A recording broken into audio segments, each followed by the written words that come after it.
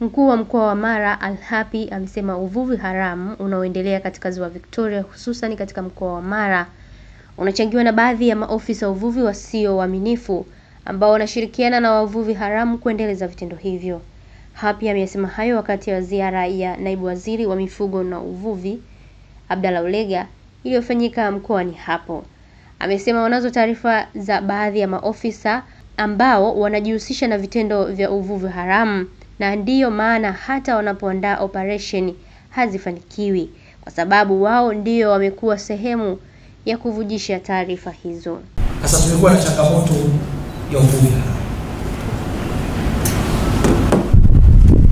kwa Nilikuwa napokea message nyingi, najua na wewe kwako mheshimiwa zinakuja na kwa waziri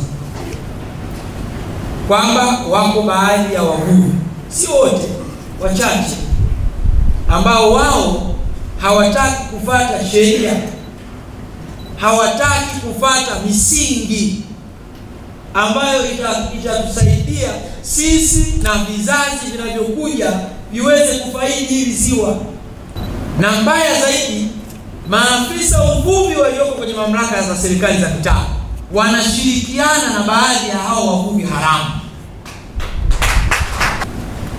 Sasa Mheshimiwa Naibu Waziri, tumeteta kule ndani kuzungumza, lakini nimeona iko haja ya kuchukua hatua kali kwenye eneo hili.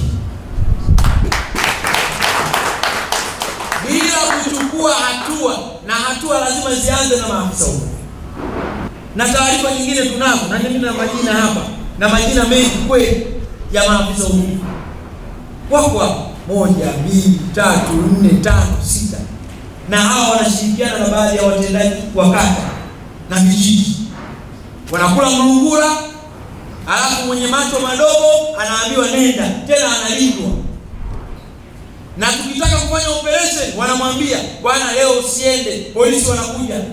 Naye naibu waziri wa mifugo na uvuvi Abdalla Ulega akasema kuwa uvuvi haramu ni chanzo kikubwa cha uharibifu, uharibifu wa mazalia ya samaki, hivyo ni muhimu kuyalinda na kuweka mipaka inayozuia watu kuingia katika maeneo ya mazalia ya samaki. Maana wavuvi ni ninyi wenyewe, na ninyi ndio mnamjua nani anafanya shughuli hizi kwa uhalali na nani anafanya shughuli hizi isivyo halali. Kwa hivyo ulinzi wa rasilimali hii ni pamoja na kuyalinda yale mazalia.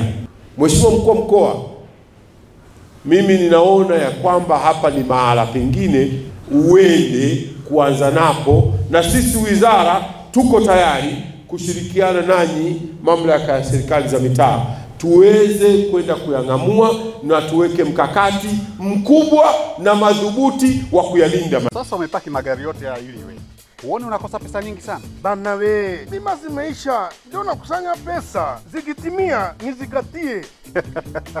Mtani vipi tena eh? Si ulipie kwa awamu kwenye WhatsApp kupitia bima pap, upate bima kisha uendelee na biashara zako, upate pesa, hatimaye umalizie kulipia salio la bima zako zote. Kiru.